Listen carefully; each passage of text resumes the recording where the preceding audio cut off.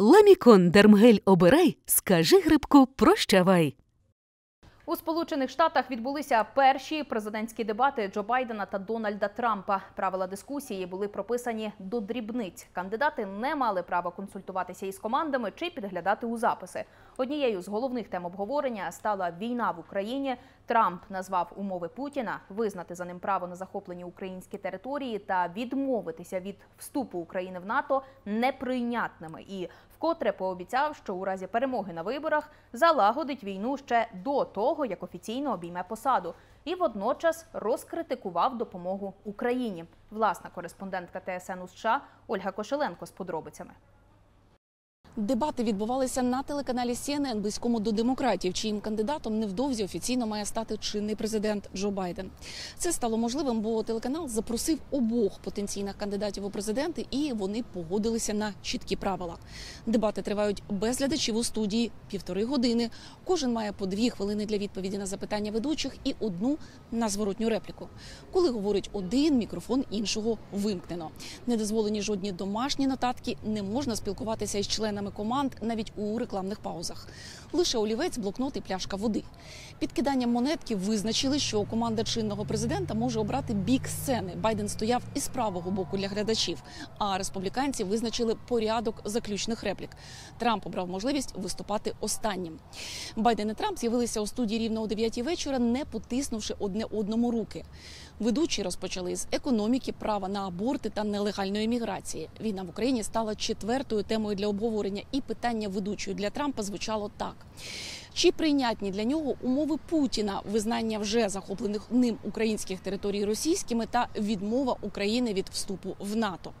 Трамп намагався уникнути прямої відповіді. Він говорив, що якби у Сполучених Штатах був справжній президент, якого цитую Путін поважав би, то і війни би не було. І розширив свою думку. Мовляв, Путін побачив, як невдало американці виводили війська з Афганістану і вирішив напасти на Україну.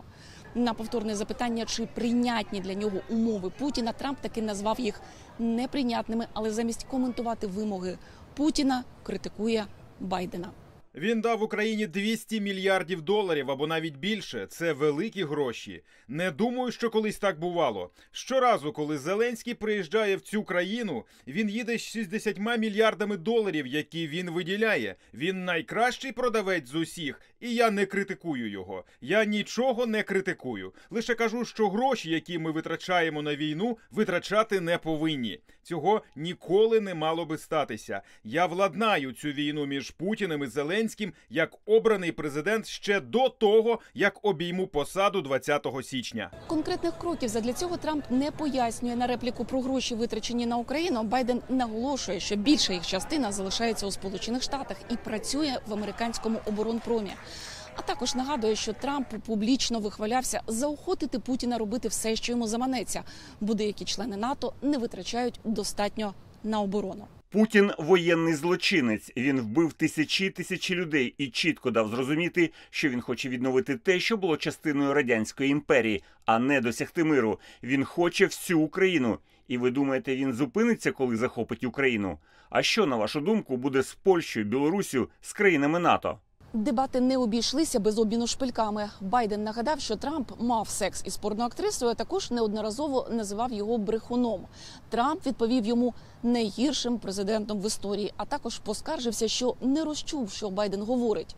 Чинний президент і справді виглядав втомленим і мав захриплий голос. Змі з посиланням на джерела пишуть останніми днями. Він лікувався від застуди.